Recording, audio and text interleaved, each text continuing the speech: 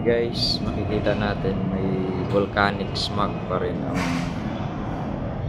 ah, Metro Manila. Ayan.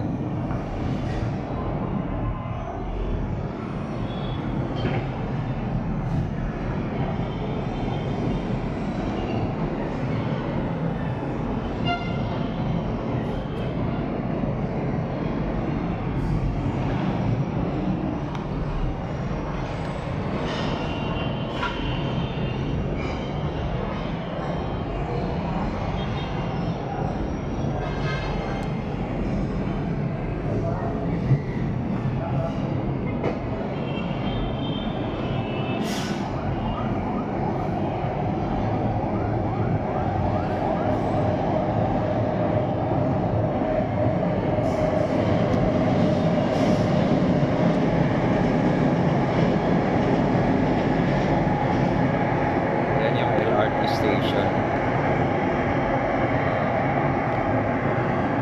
Ayan, LRT station ng Buendia.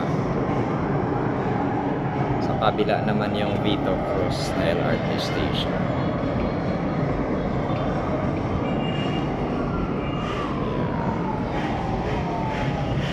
Mga kalula dito guys. Dito tayo sa The Aston Place. Nasa 37th floor.